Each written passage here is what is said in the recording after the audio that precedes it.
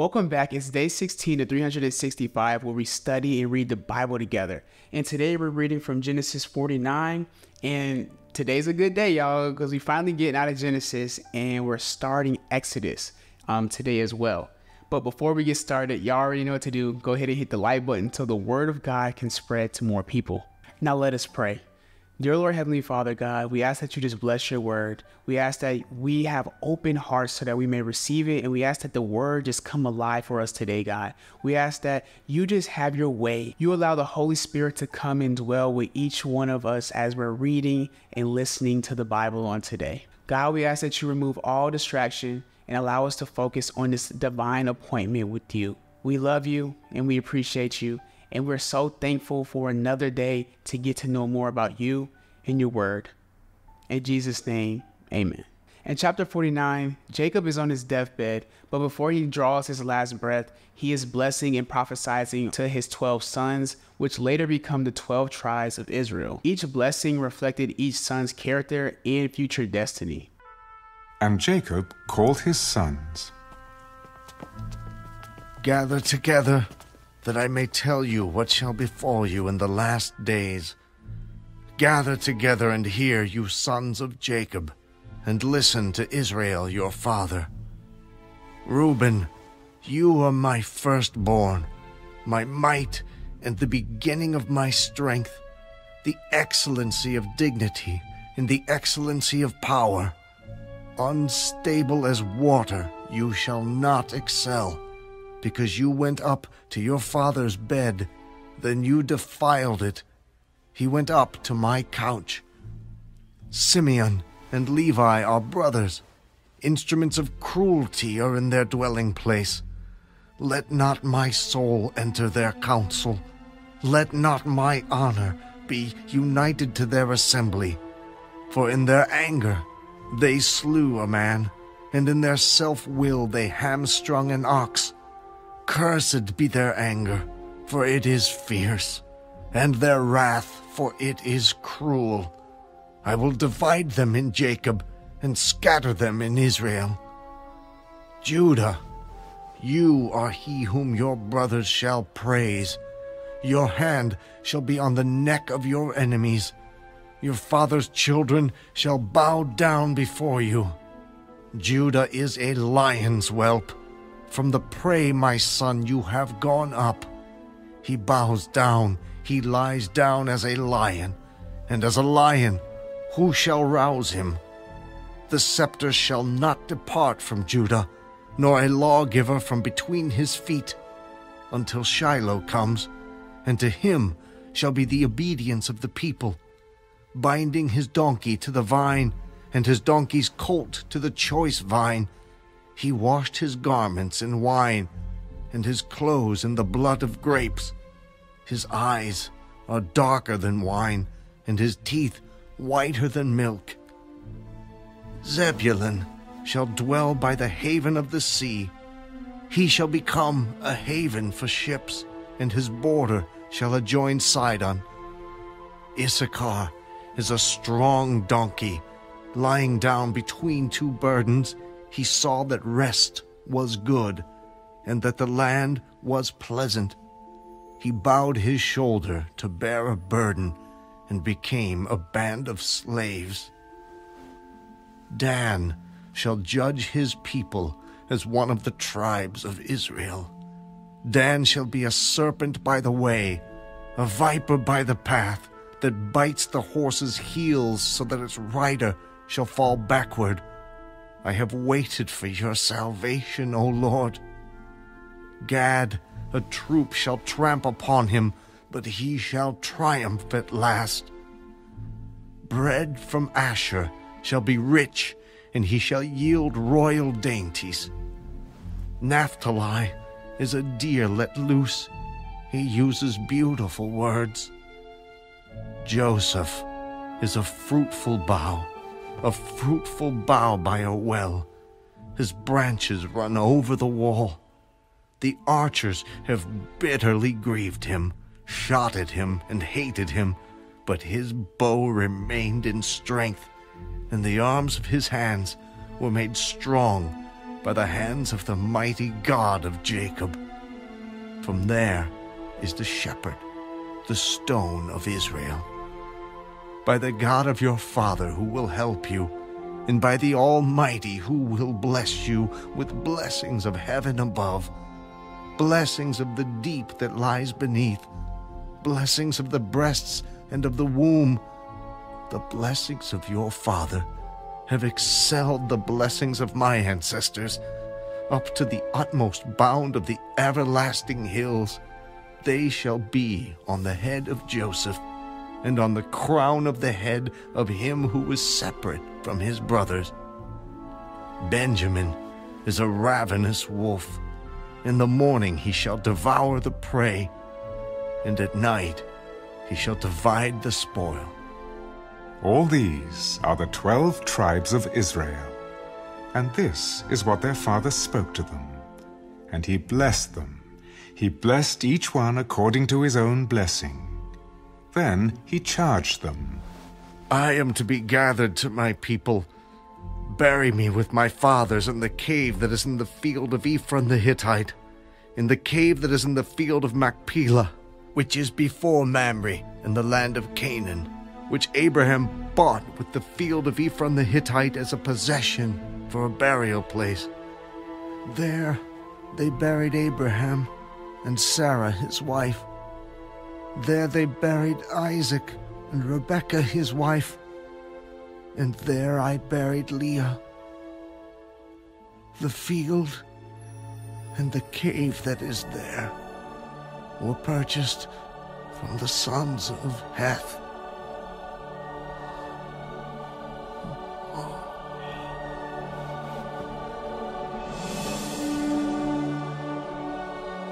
And when Jacob had finished commanding his sons, he drew his feet up into the bed and breathed his last and was gathered to his people.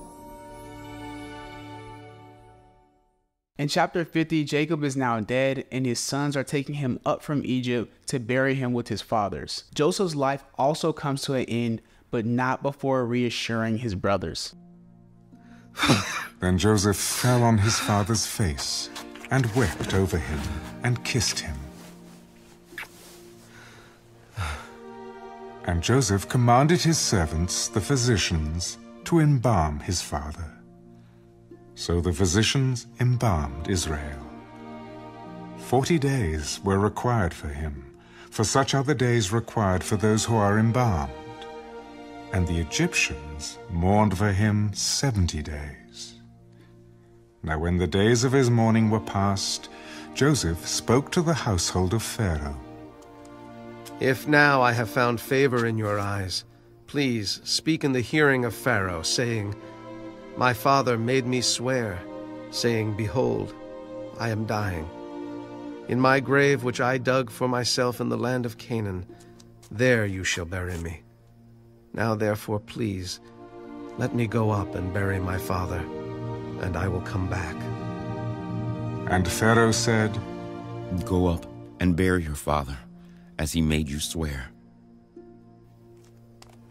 So Joseph went up to bury his father, and with him went up all the servants of Pharaoh, the elders of his house, and all the elders of the land of Egypt, as well as all the house of Joseph, his brothers, and his father's house. Only their little ones, their flocks, and their herds they left in the land of Goshen. And there went up with him both chariots and horsemen, and it was a very great gathering.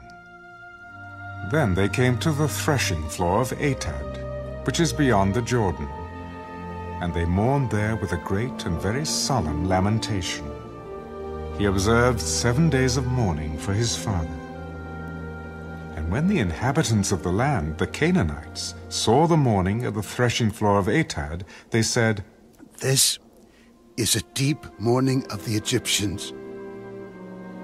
Therefore its name was called Abel Mizraim, which is beyond the Jordan. So his sons did for him just as he had commanded them. For his sons carried him to the land of Canaan, and buried him in the cave of the field of Machpelah before Mamre, which Abraham bought with the field from Ephron the Hittite as property for a burial place. And after he had buried his father, Joseph returned to Egypt, he and his brothers, and all who went up with him to bury his father. When Joseph's brothers saw that their father was dead, they said, Perhaps Joseph will hate us, and may actually repay us for all the evil which we did to him. So they sent messengers to Joseph. Before your father died, he commanded, saying, Thus you shall say to Joseph, I beg you, please forgive the trespass of your brothers and their sin, for they did evil to you. Now please, forgive the trespass of the servants of the God of your father. And Joseph wept when they spoke to him. Here we see that Joseph's brothers are still scared and remorseful for what they did when they were young. And we can see in verse 20 that Joseph has fully submitted and surrendered his life to God. He understands that God has a plan that's better than one that he has for himself, and he is fully okay with everything that has happened to him because he knows that it hasn't just happened to him, but it's happened for him. Then his brothers also went and fell down before his face. Behold, we are your servants. Do not be afraid, for am I in the place of God? But as for you, you meant evil against me, but God meant it for good, in order to bring it about as it is this day, to save many people alive.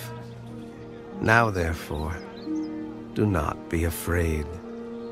I will provide for you and your little ones. And he comforted them and spoke kindly to them. So Joseph dwelt in Egypt, he and his father's household. And Joseph lived 110 years. Joseph saw Ephraim's children to the third generation. The children of Machir, the son of Manasseh, were also brought up on Joseph's knees.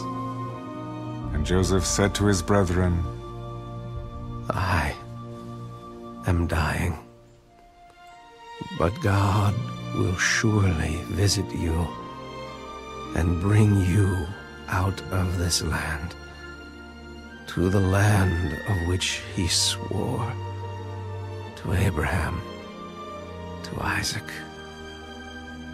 and to Jacob. Then Joseph took an oath from the children of Israel. God will surely visit you, and you shall carry up my bones from here. So Joseph died, being 110 years old. And they embalmed him, and he was put in a coffin in Egypt.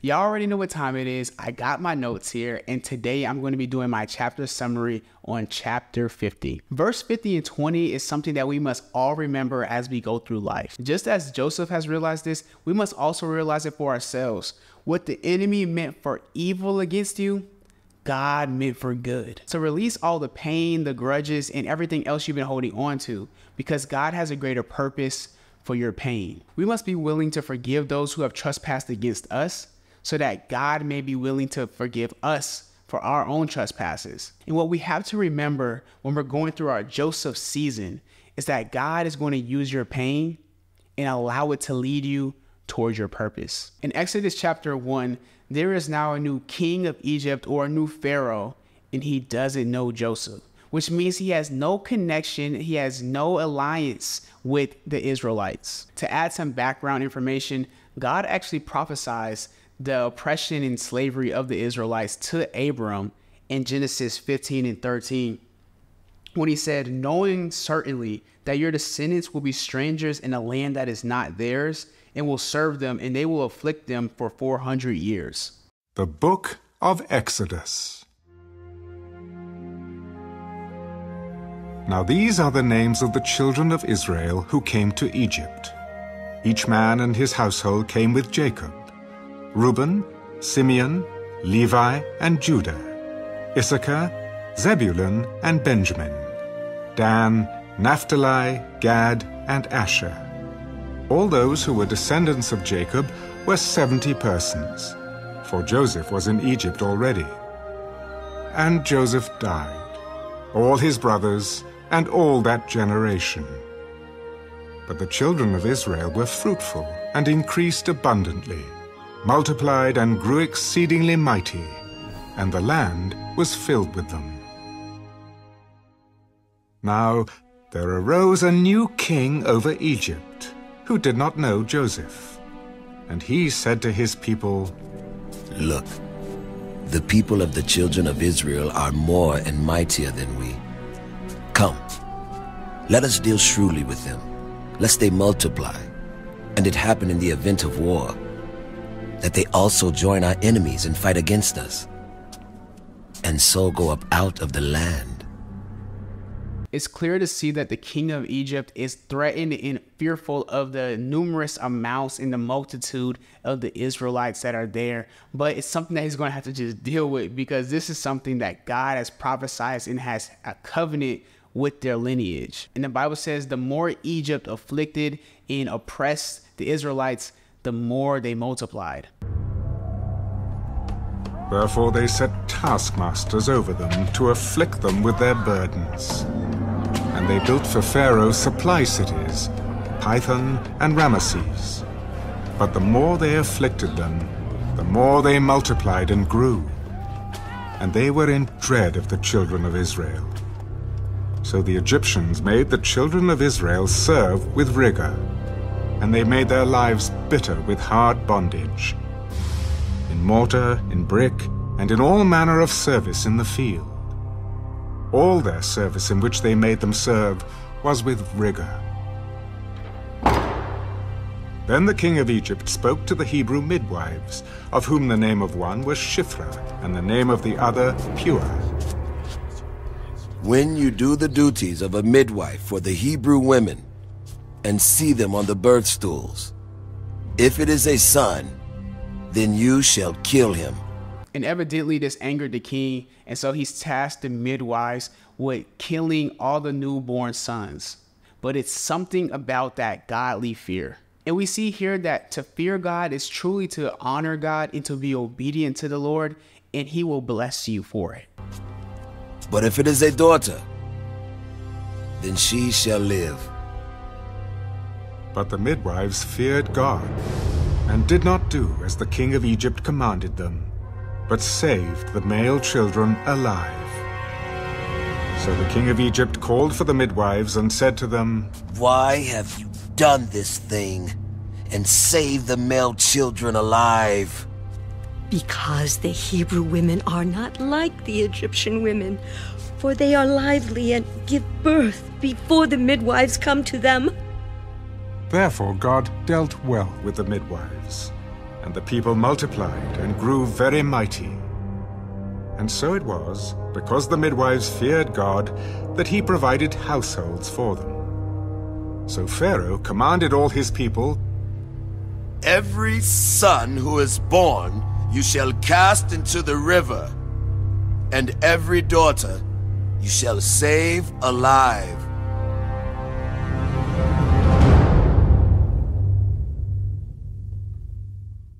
But that's all for day 16, and I really appreciate you being a part of it. And so, if this was a blessing to you, go ahead and share this with three other people who need to hear this too. And I'll see you on day 17. Peace.